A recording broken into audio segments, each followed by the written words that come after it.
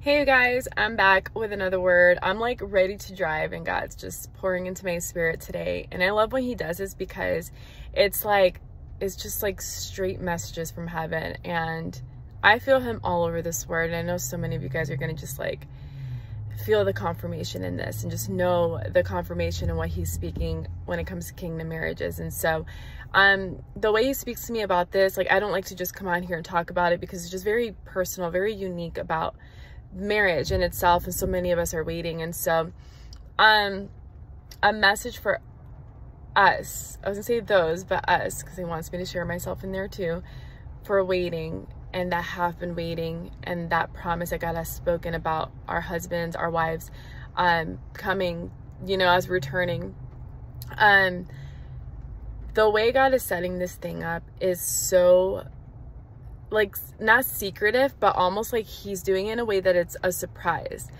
And the reason why he's doing it is because he wants to receive all the glory in this situation, in this entire blessing. And the thing is, is that the way God is joining his sons and daughters together is so unique. It's going to be the story that you tell to all those that don't believe in love or maybe have given up hope in love and maybe those that don't care for marriage because they've been divorced before, maybe they're they've seen divorce in their family and I come from a divorcee family and so um you know there was a, a point in my life where I gave up and I said I don't ever want to get married because I just I don't see that for my life, but in reality, it was all a lie. And God came into my life to tell me otherwise. And so I've been waiting for my husband ever since. And so, um, he has had and has for me to clear up some things on this because there's just, I don't want to have, I don't want to have to say this. Like, this is so personal, but because he wants me to share. Um, the Lord has shown me my husband the Lord has allowed me to meet my husband.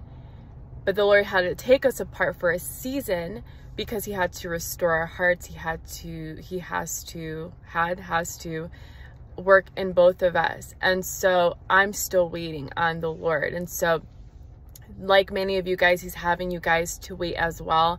Maybe some of you guys have not met your spouse. And if you haven't met, let God open that door. Don't force that door. Don't try to go looking for this person. Don't try to um, find that person in different outlets. If God wants you off of dating sites, stay off of dating sites. If God wants you to if he said he's you're you're gonna meet this person in public he's gonna work that out he's gonna do it he's gonna do it his way not your way and so um when you allow god to like to show you like this person, you're gonna know.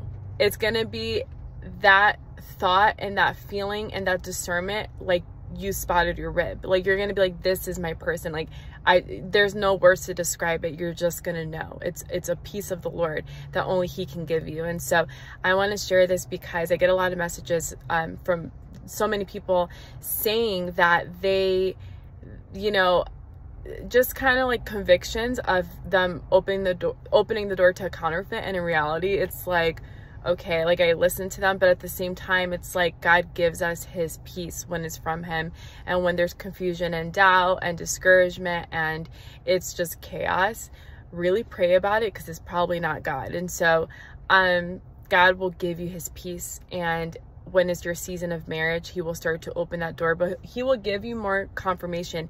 He will give you more words about it. You'll start to just see his hands and power in this area of your life. And so whatever you desire, God already knows. He just wants you to give it unto him so that he can perfect it for you and allow you to grow and be prepared for it. When walking into it, you can handle it and give it back to him. And so I encourage you guys with this word and I pray that this word blesses you guys. But for those that have been waiting and are continuously waiting, keep waiting, keep trusting. God's not a man that he shall lie. He's not going to have you waiting for nothing. He's going to have you wait to prepare you and prune you and have you to step into this as a gift, as a blessing, because he says every good and perfect gift is from above. And so I love you guys and I'll talk to you guys soon.